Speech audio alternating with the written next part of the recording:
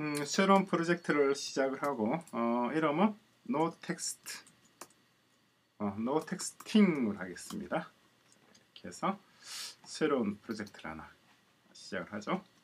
해서 어, 사용자 인터페이스를 일단 좀 정리를 해야 되는데 이게 일단 우리가 뭘 만드는지부터 생각을 해봐야 됩니다. 이거 뭐냐니까 우리가 운전 중이나 아니면은 수업 중에 어, 전화가 오면은 아, 지금은 수업 중이니 나중에 어, 제가 연락드리겠습니다 하고 자동으로 어, 문자가 날아가는 그런 앱을 만드는 거예요. 그죠?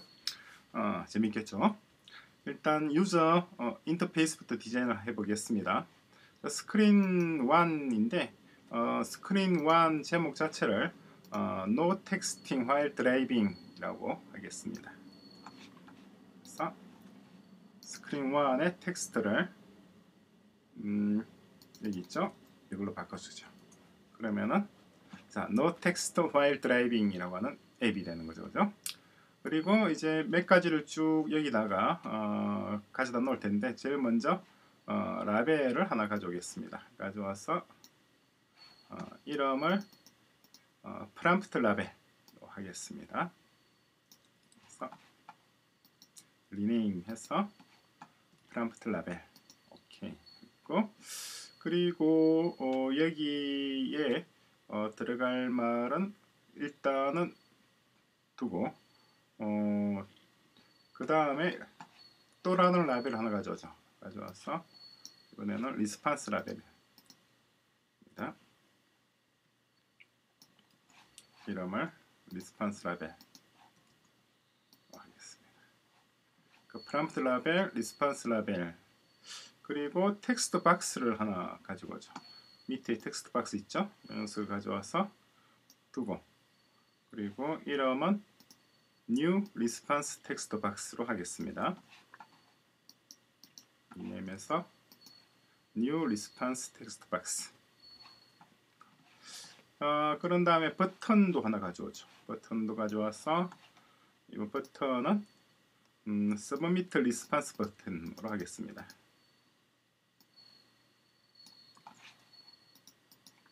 Submit response 버튼 있고 어, 그런 다음에 texting이라고 어, texting은 우리가 지금 이제 처음 보는 건데 어, 요거 social 파트 있습니다. 그럼 texting 있죠? 요것은 눈에 보이지 않는 눈에 보이지 않는 그러한 거예요. 가져다 두면 밑에 non-visible component texting 1이 나타나 있죠. 그리고 어, storage에서 TinyDB라고 하는 데이터베이스, 이 데이터베이스가 뭘 하는지 우리가 이번 시간에 공부를 해보게 될 겁니다. TinyDB도 가져왔습니다. 그리고 text to speech, 그죠? 미디어 파트에 아마 있네요. text to speech는 글자를 우리 대신에 읽어주는 읽어주는 그런 앱이에요. text to speech도 가져오고 그리고 location sensor도 가져오겠습니다. location sensor는 내가 현재 있는 위치를 스마트폰이 감지하는 그러한 어, 장치죠. 이렇게 이런 이름을 따로 뭐 바꿔줄 필요 없습니다. 그냥 그대로 이름을 적어두고 그리고 이제 어, 프람프트 라벨하고 어, 이제 몇 가지들 이렇게 인터페이스를 기본적으로 이제 구성을 한 겁니다. 구성했고 그런 다음에 이제 각각의 텍스트를 좀 고쳐줄게요. 그래서 먼저 프람프트 라벨에 요, 요것의 텍스트를 지금과 같이 고쳐주겠습니다. 텍스트를 이렇게 꽤 길어요. 그러니까 음, 이게 이게 보자. 이게 조금 글자가 기니까 요것을 어디다 적어서 보여드릴까요?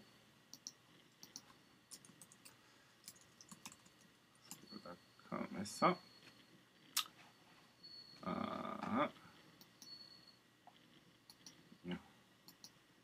제가 여기다가 써서 보여드리겠습니다.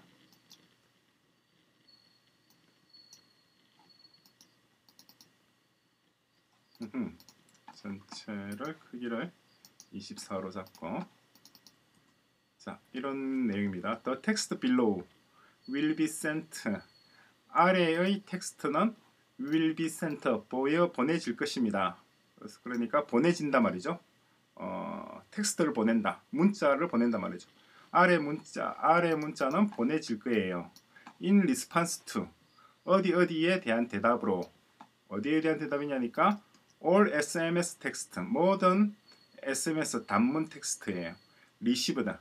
그러니까 어, 전화기로 어, 스마트폰으로 받은 모든 문자 메시지에 대한 응답으로 보내질 겁니다. 언제 받은 거냐니까 while this app is running 이 앱이 running 돌아가고 있는 동안에 그죠? 그러니까 이 앱을 돌려놓고 있으면은 이 앱을 어, 가동 스타트 시켜놓고 나면은 그 다음부터 어, 전화가 오거나 문자가 오게 되면은 거기에 대한 답변으로 아래 텍스트가 전달될 거라 하는 그런 뜻이죠. 그게 여기에 들어간 내용입니다. 여기 적혀 있죠. 어, 그리고 어, 또 있는 것이 다음에 response 라벨의 요 녀석이죠. 요 녀석의 텍스트도 바꿔주겠습니다. 이렇게 바꿔주겠습니다. 자, 이것은 어떤 의미냐니까 이것은 I'm driving right now. 지금 운전하고 있습니다. I'll contact you shortly. 곧 연락드리겠습니다. 곧이죠. 곧 기화에게 연락드리겠습니다. 라는 뜻이에요. 자, 이 녀석을 여기에 넣습니다. shortly 됐죠? 어, 그리고 이제 이것은 그냥 비워놓고 그리고 버터는 어, 이렇게 또 다른 물을 말을 넣어 놓겠습니다 해서 음, 버튼을 버튼이 어디 있죠? 어, 여기 있죠? 이게 버튼이죠. 그래서 텍스트를 이렇게 그러면은 inter new response text니까 이렇게 되죠. inter new response text 새로운 응답 문자를 입력하십시오 라는 뜻입니다. 자 그렇게 해서 인터페이스 부분이 어, 정리가 되었습니다. Submit Response 버튼이 있는데 어, 그게 어디 있죠? 어, 여기 있군요. Submit Response 버튼이고 아, 아 이게 이름을 잘못 적었네요. 문자열을 자, 여기에 이렇게 들어야 됩니다. Modify Response가 되고 여기에 이제 힌트로 들어가는 게 뭐냐니까 힌트로 들어가는 것이 Inter New Response Text입니다. 그러니까 New Response Text 박스에 힌트라고 있죠. 그 힌트에다가 이것을 넣어놓게 됩니다. 힌트에 들어가는 내용이 Inter New Response Text인데 이 힌트가 어떻게 동작하는지는 우리가 조금 있다가 어, 어, 실제 블락에서 보여드리겠습니다. 힌트가 나타나요. 그리고 이제 Modify Response. 이 버튼을 누르게 되면은 어, 그러니까 지금 지금 기본적으로 기본적으로 어떤 문자나 전화가 오게 되면은 내가 하는 거는 내가 보내는 문자 답장이 I'm driving right now. 지금 운전 중이니까 I'll contact you shortly. 곧 일, 연락드리겠습니다. 라고 하는 게 이제 답장으로 날아가는데 어, 아니면 I'm 뭐, 뭐, in class right now. 지금 수업 중이에요. 곧 연락드리겠습니다. 라고 할 수도 있죠.